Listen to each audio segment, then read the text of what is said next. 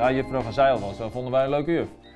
Dat, eh, daar hadden we wel eh, oog, oog naar. Dat was, we vonden het allemaal een mooie juf. En eh, nou, als ik nu de foto's zie, denk ik, nou, hadden we goed gezien. Als 18 jaar zagen we dat al. Dat is een goede zaak, denk ik. Het waren mensen die vaak net van de opleiding afkwamen, die hier een eerste baan vonden. Ja, en die vonden dat prachtig natuurlijk om eh, hun energie er helemaal in te storten. Het werk wat ze deden, ja, dat was heel erg van elkaar gescheiden. De jufs, ja, die werden geacht om in, of op de kleuterschool les te geven, of in klas 1 en 2. En dan hield het op, want 3, 4 en 5, ja, dat waren de gebieden waar eh, de meesters hun domein hadden.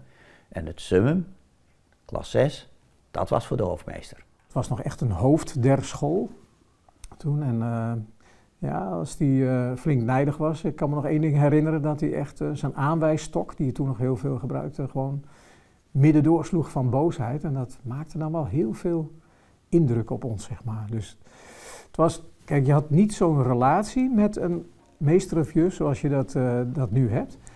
Um, maar het was, ja, het was um, ook wel voor een deel wat gebaseerd op wat, wat niet alleen respect, maar ook toch wel wat angst.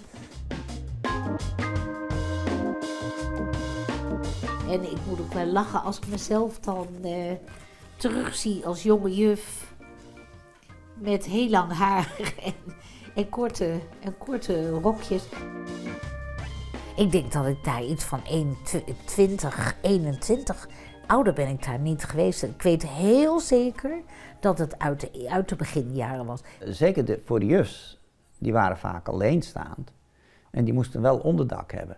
Nou, je kon in pension natuurlijk, maar dat was ook maar beperkt. En bovendien ook niet echt gezellig.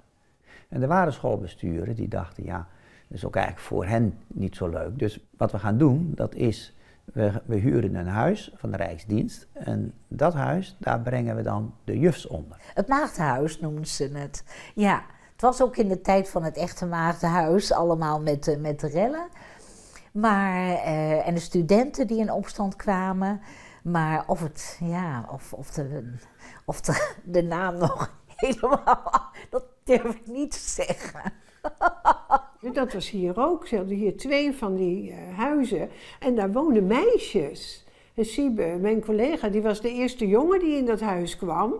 En dat moest me ook met allerlei beschrijvingen. De meisjes mochten niet meer zo in de nacht op de gang lopen enzovoort. En want we hadden nog nooit, was hier een jongen op kamers geweest. Want ik denk dat, dat een jongen die hier benoemd werd, heel gauw ging trouwen en een huis kreeg. Maar die meisjes, ja, die waren toch maar een paar jaar. Dus die mochten dan in zo'n huis van het schoolbestuur. Ik moet er eigenlijk wel om lachen als ik een beetje aan terugdenk. Alhoewel ik het destijds wel eens dat dacht, oh, daar staan ze weer achter de ramen. Hè? Bedoel, van, om te kijken wie erin kwam. En daarna begon het verzinnen natuurlijk. Want in hun optiek moest je dan toch wel iets...